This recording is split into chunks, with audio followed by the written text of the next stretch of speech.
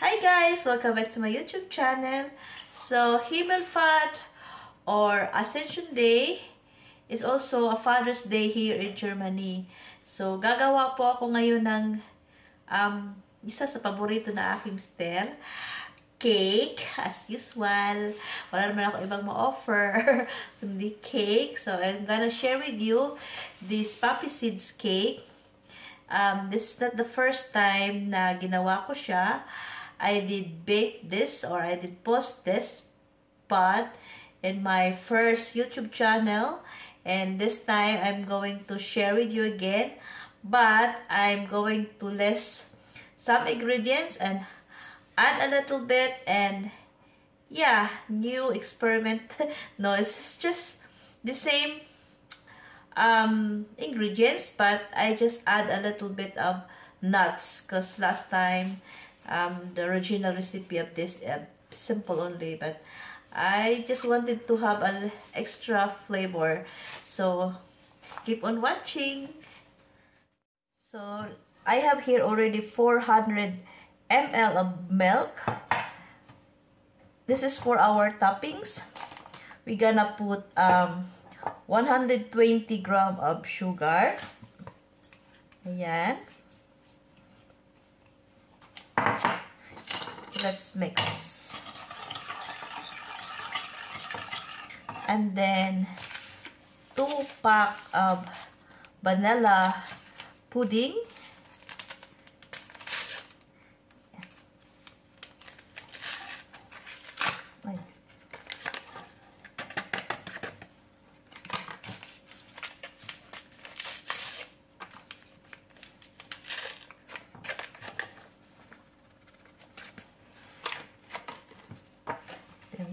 let's slowly.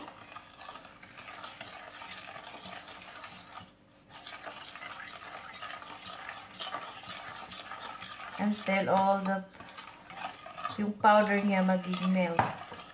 Then let's add one egg.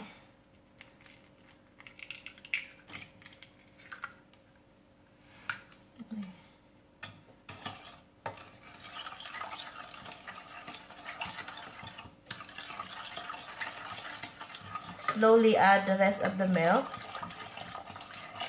So, so it's 800 ml of milk. Ito guys. Uh, totally mix yung egg at saka yung um, vanilla pudding powder.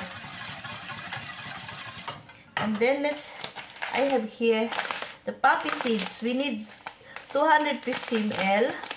We have three different kinds of poppy seeds. My gimalin or yung crush na or tsaka my paste. But this time, I use the buo kasi naubusan yung sa supermarket. But it's okay because we're gonna cook this. Ayan.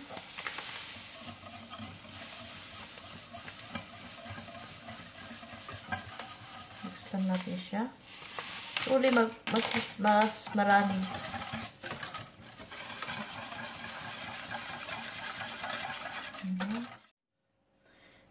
Then let's cook this guys in a low temperature only. Hanggat sa mag ano siya. Habang niluluto natin siya, let's continue only mixing kasi madaling dumikit yung um, vanilla po. Na guys, nag-action na siyang tumigas. Ayan. Saka kahalo-halo. Para kang gumawa ng mga blankano.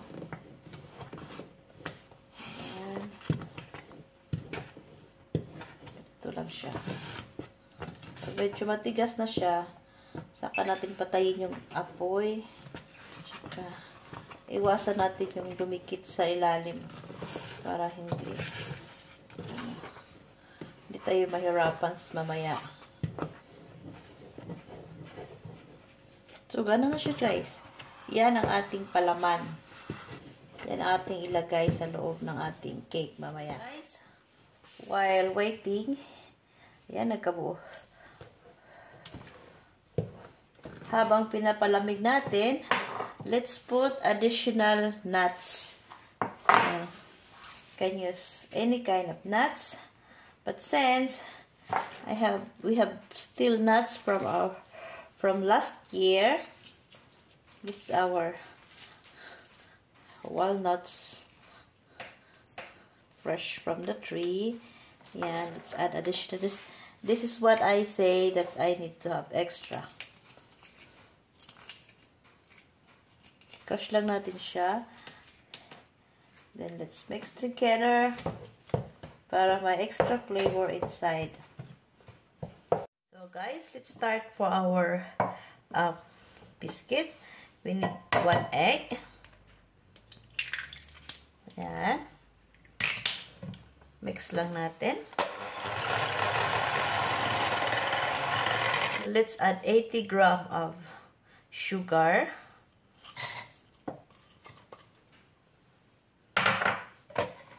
Then slowly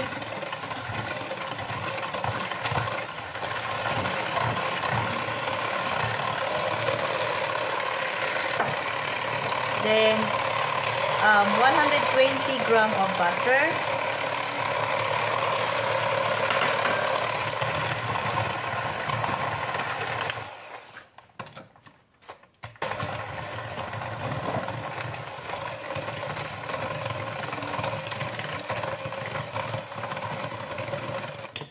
Then let's add our flour. We need 250 gram of flour and 8 gram of baking powder.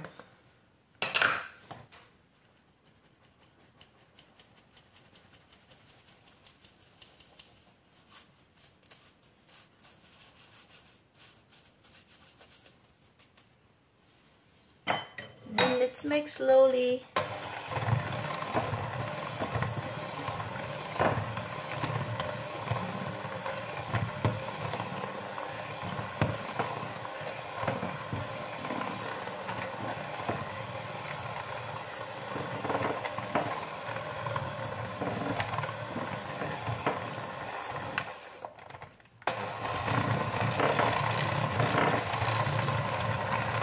Guys, make it sure malinis po ang ating kamay. And then, haluin natin siya with can.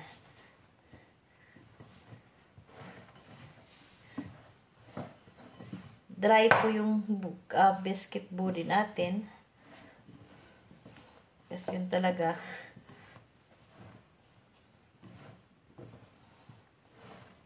Haluin lang siya ng haluin.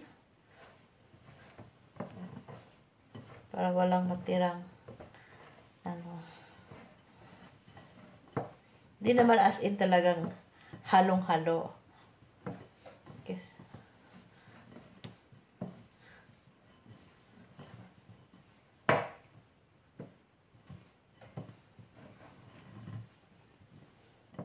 So guys, I have here 28 cm baking pan.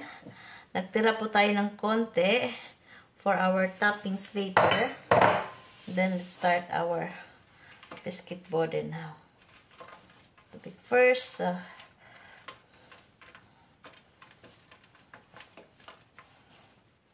this, spread.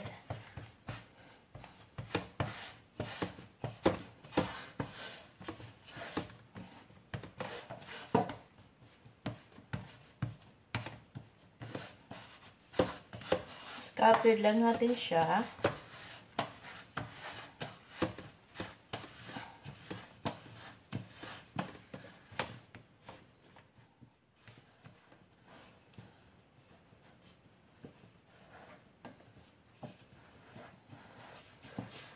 So, inuna ko pala guys, dun sa gilid. So,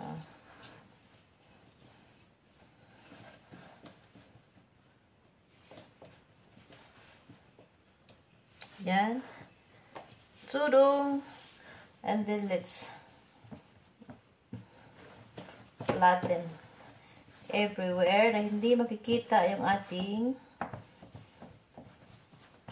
baking pan.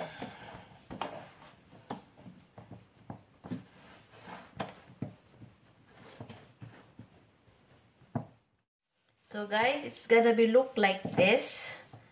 Ayan. And then let's put our toppings.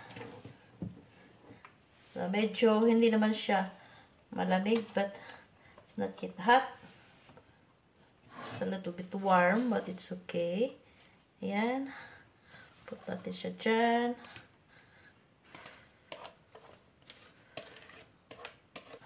Okay.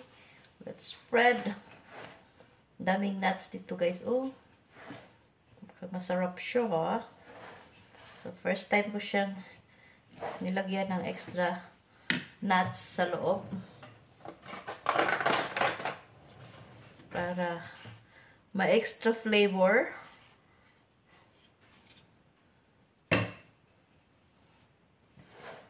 So, ayan.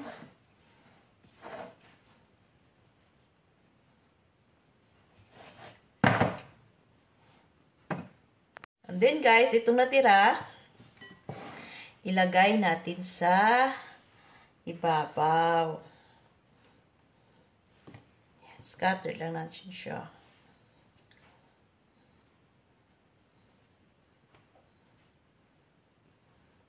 So, like this guys, not too much. And then, let's add the nuts. Ito yung sinasabi kong we, I wanted to add additional flavor. So, lagyan na ng maraming nuts. I have here mandel, almond. So, ito din, almond din siya. But in the flakes. Ang ating itatapping sa ibabaw. Para hindi makita ang ating um, poppy seeds. So, And then, let's bake this for 60 minutes or 1 hour at 160 degrees. So, guys, after 1 hour, ayan na siya.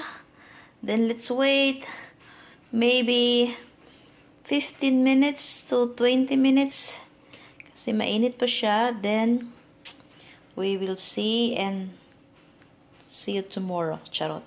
So, guys, this is it. Ayan, malamig na siya. And na-transfer ko na sa plato. So, so it's time to cut our cake.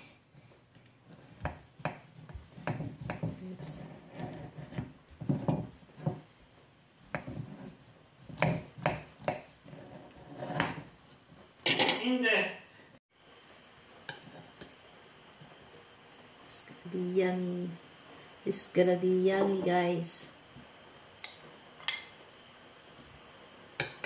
Mmm. Ta-da! Two.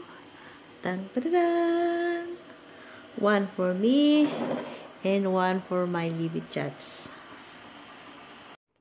Thank you for watching. Don't forget to subscribe, likes, and comment. God bless everybody.